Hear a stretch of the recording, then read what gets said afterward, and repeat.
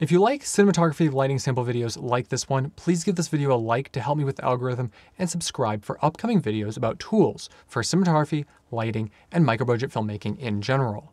Also, remember that if you have any questions about the tools we discussed today, feel free to ask them in the comments below and I will do my best to give you some answers. I really appreciate all the support that these videos are getting so far. I do try my best to keep these videos focused and to the point so that they're not too long.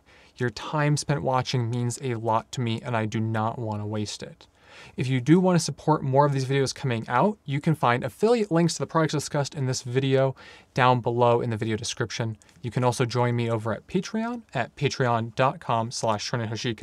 I'm currently aiming to get about 25 patrons who are interested in extra cinematography guides and tutorials.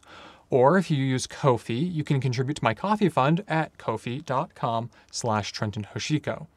If you want to pop over to my Twitter, you can follow me there at Trenton underscore Hoshiko. Thank you all for watching. It really, really means the world to me.